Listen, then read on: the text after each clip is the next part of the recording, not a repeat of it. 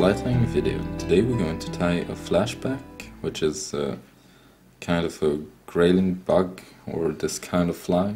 It started out with a fly that I call the mayfly flashback, which is or which are these ones here in the back, and they have a back out of pheasant tail and some pearl tinsel. Then I simplified these taking off the pheasant tail and making them more like a caddis pupa or caddis larva and these here are the second version and now this one will have a broader or wider back and also being tied on a much bigger hook. The other ones were sizes 12. Here in the vise I have a size 8 partridge grub straight eye. And this is a great hook for tying all kinds of bugs.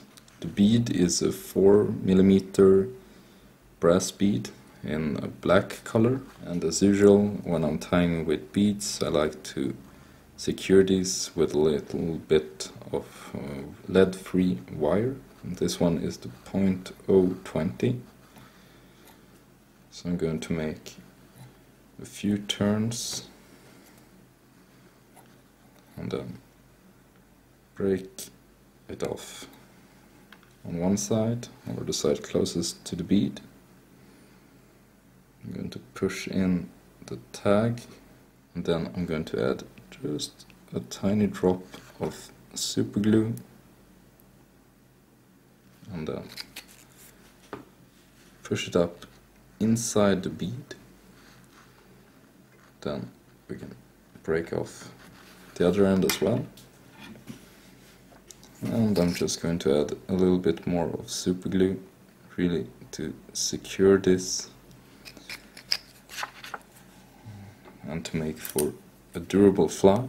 The thread I'm using is the Veevus 140 denier and this one is quite thick thread so it doesn't take much to build up the shape of the fly and this is why I use it on this size 8.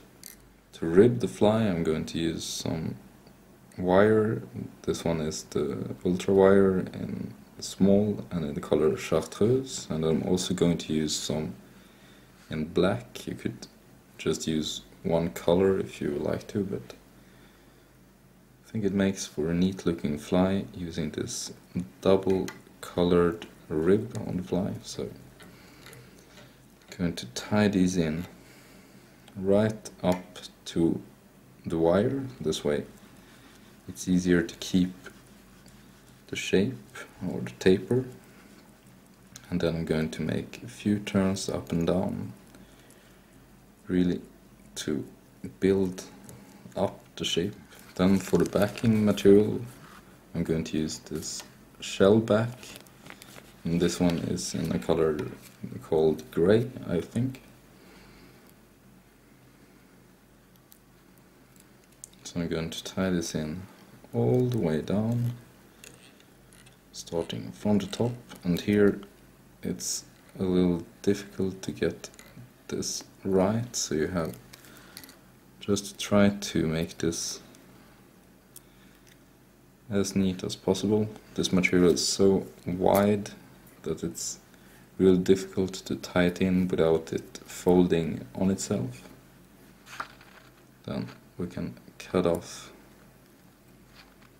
the excess and I'm just going to go up a few times more to really build up the shape that I want. And now we can whip finish with this thread. I'm going to change for another one. So here I'm going to take the Nano Silk from Semperfli, 80 knot in olive. And as this is so thin, it's really useful to use this other one for the underbody and then I'm using this one as it's so great to use when tying with beads as it will sink down just behind the bead and you won't even see the thread. And here I have this one set up on the hook bobbin, which is a bobbin with two smaller hooks here, and I'm going to show you just in a bit how to use these. So I'm going to start the thread again. I'm just taking this down a little bit, cut off the excess. Then I'm going to take this down to where we tied in all the other materials. And here I'm zooming out just a little bit so I can try to show you. What I'm going to do for this one is, so for the body of the fly I'm going to use this custom dubbing band that I call Scud Mix. It's this gray-green color with a little bit of blue highlights in it.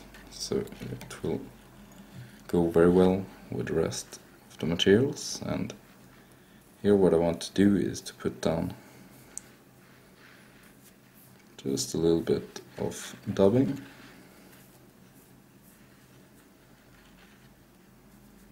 And then what I'm going to do is to do like a normal dubbing loop. So I'm going to go up again a few turns then remember to close the loop. Going over or just around the loop a few times and then I'm going to go back down and here. On my way down I'm going to hook in with the two little hooks. So I'm going to open up my dubbing loop and holding these with the built-in hooks we have here. And then I'm going to spin the bobbin and here as you can see we'll have these three threads spinning together. So it will make for a much more durable body than if we use the split thread technique that I'm really that I really like. But here this way we will have all the three strands of thread keeping this body together and also making a quite nice segmented look on the fly. So here I'm going to take this up all the way and then once you're done we can then just hook off the rest piece and then continue tying. This will bind everything down and then cut off the excess and there we have the body tied in. And now we're going to bring up this backing material trying to make it as flat as possible.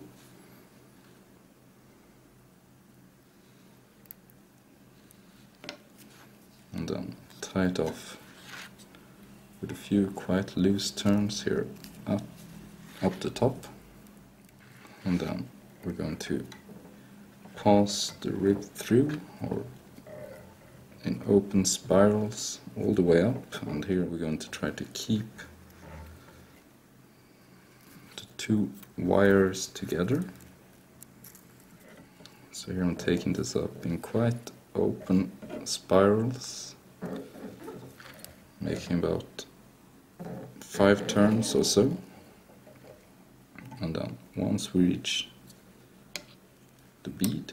We can then put a 90 degree bend into the wires and then just tie these off with a quite few hard turns. Then helicopter the wire to break them off.